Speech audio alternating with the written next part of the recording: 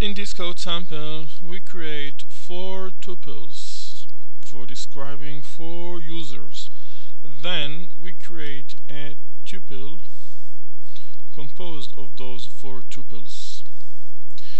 Here in this line, we use what is known as a pattern in order to take a tuple and extract those four tuples, those four elements it includes.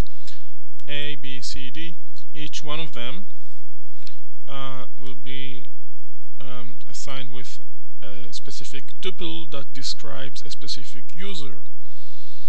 Then, using the same technique, I take the um, the tuple that describes David and extract its elements and then print out the username, the password,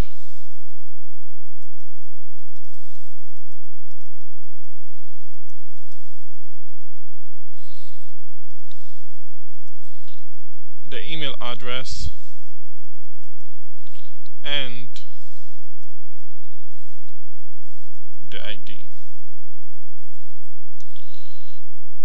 let's execute the code.